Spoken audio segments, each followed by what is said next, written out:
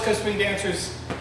As you know, as you should know, it's myself and the talented Miss Stephanie.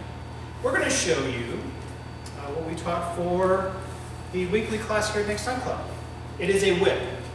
Now, you know the standard basic whip is your normal whip where she does pivot turn, she does a coaster, she goes back to where she was. This is a whip as well, but it's so different from what you're normally used to seeing. So that's we're going to break it down for you and make it hopefully make sense. So thank you for coming. Thank you for watching. Remember to subscribe for a free video every week. We hope you like it and use it as much as we do. This starts with her right hand, my left hand. The only way to really do this first part is do the first four steps and then break it down and show you how we got it. So after the sugar push, we're going to go to four, one, two, three, and four. Now I know that seems like a lot and looks like a lot. It's called a pretzel whip because basically you're making each other look like a pretzel. I'm going to go underneath her right arm on one, two, pulling her towards me.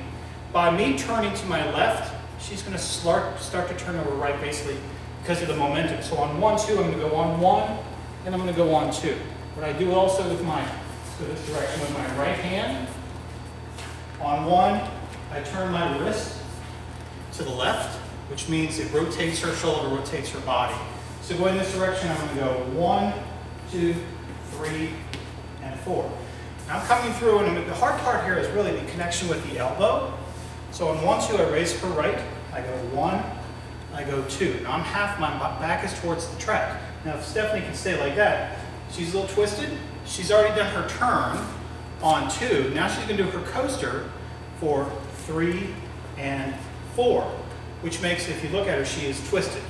Her left arm is out in front. You better show it this, uh, this direction.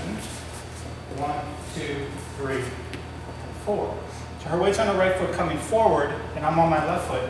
And we got our arms almost connected. But the main point of this part is on four guys, on one, two, one, two, this elbow come through.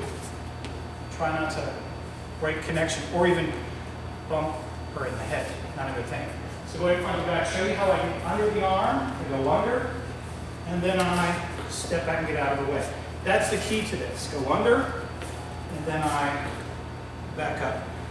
That's the four. Remember the last part of the whip is an eight count, so just to finish it, you go one, two, three, and four, five, six, seven, and eight. So we're going to go to four again and stop.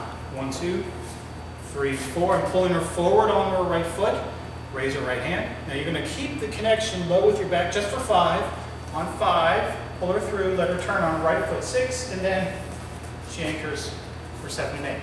Is this leadable? I think it is, but if it's a fast song, she's not going to feel it. You're going to have a good follow as well. One, two, three, four, five, six, seven, and eight. So guys, show it to her first, just so she feels comfortable, because it's something probably haven't seen before. One, two, three, four, five, six, seven, eight. Guys, get off the track. Remember on four.